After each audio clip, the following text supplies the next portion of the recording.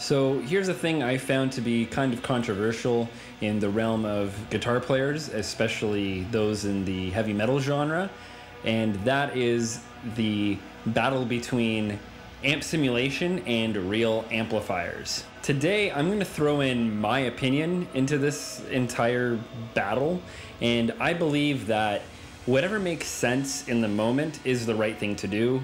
Sometimes an amp sim is what makes the most sense. Sometimes miking up a real amp is. Some amp sims sound great with without having much to do. Some amps sound great without having much to do. It all kind of depends on your skill level and your comfort level.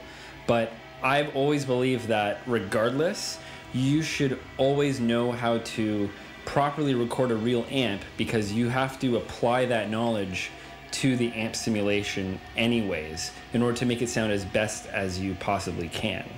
Now I have an amp custom built for me by Diamond Amplification down in Texas and it's one hell of an amp. It's kind of got this modern yet vintage vibe, which was perfect for what we were doing in Restless Dreams. Now, I'm not going to run through all the features of this amp because that's not what I'm trying to do with this video, but I will show you how it sounds at least. I'm going to show you a very basic trick that you can apply to any microphone choice you use or any guitar amp, guitar, whatever. This is just a general uh, recording guitar tip. And I think that knowing this will probably solve maybe up to 50 to 75% of your tone issues when tracking guitars, especially for heavy metal music. I use two mics to track the Phantom, the good old Shure SM57 and my all-time favorite microphone, the Electro Voice RE20. The way I set them up was about maybe an inch away from the grill and dead center in the speaker. Now I put them on different speakers rather than doing two mics on the same speaker. This might not be something you'll want to do with every amp, but I found that the top two speakers had a neat sound that complemented each other nicely. Here's the track with just the SM57.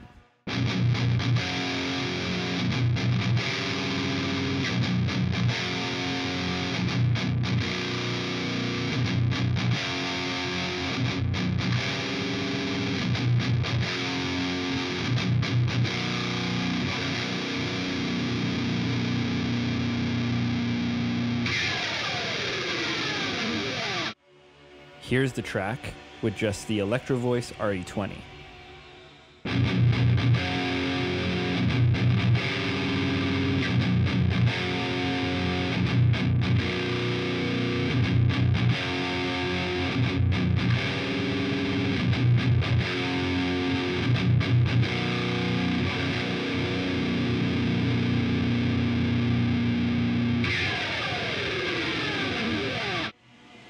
And here they are blended together.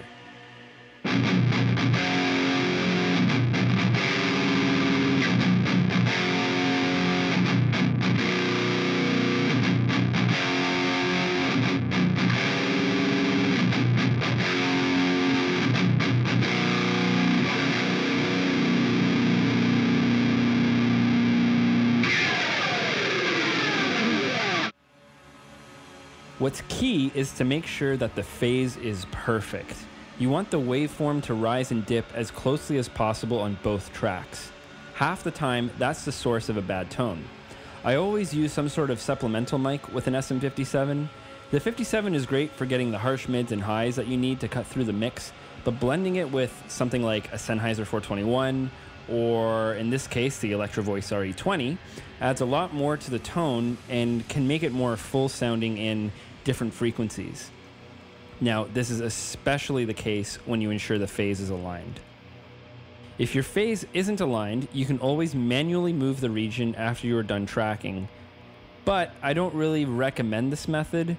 There are some plugins out there that can help with phase alignment, and I'll probably cover those in the future, but I do believe that you can still get it as you're tracking, and I think that is still the best method rather than using a plugin or kind of moving it around after. Uh, it's just so much easier and takes way less time and has way less headaches when you do it right as you record it.